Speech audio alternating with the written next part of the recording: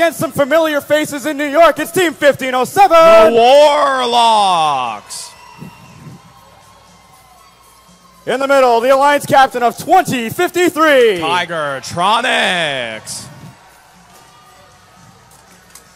And rounding out this alliance is 4547. Ooh, SD Tech.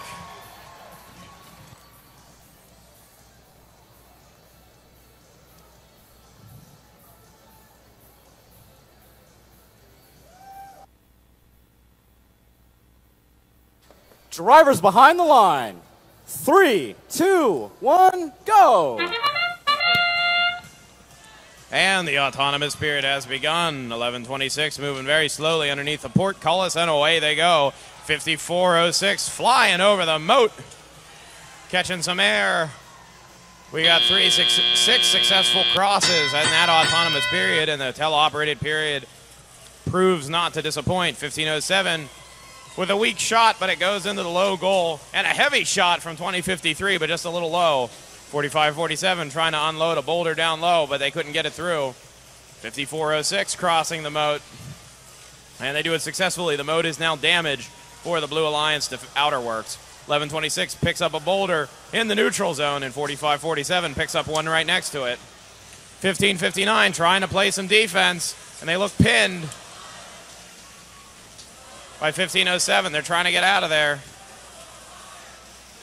5406 flying over the rock wall in 1126 scores another boulder down low.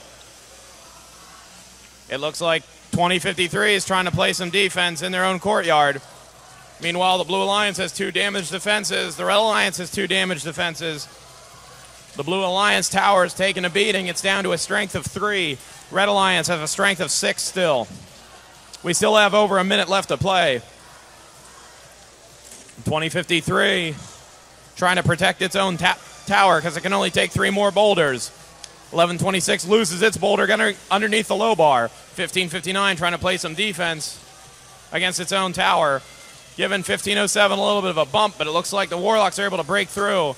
And a quick shot, just a little bit too low from 1507. The Blue Alliance's outer works have been breached as 5406 flies through the sally port. Red Alliance has one cross left on its low bar before its outer works will be breached, and 4547 does. And the Red Alliance's outer works are now breached. We have 30 seconds left to play, and 1559 is still as its own courtyard. This one is still neck and neck.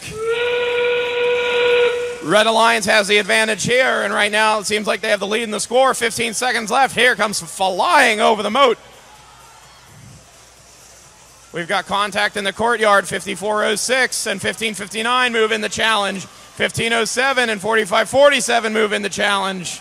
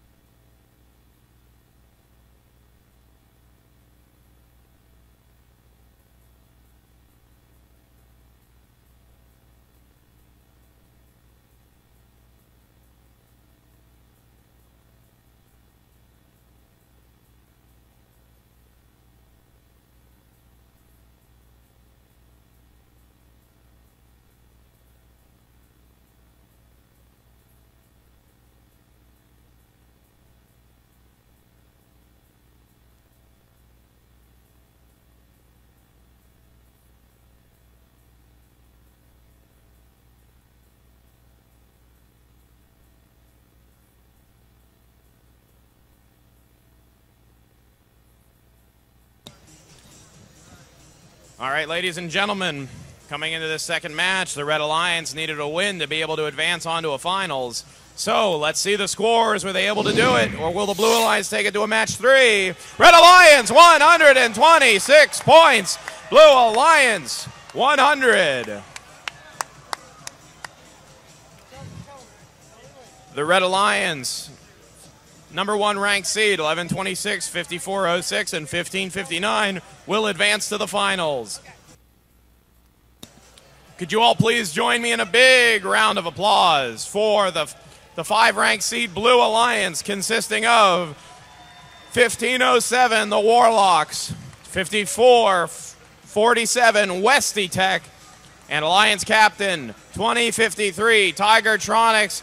Please join me in a big round of applause for the Blue Alliance fifth ranked seed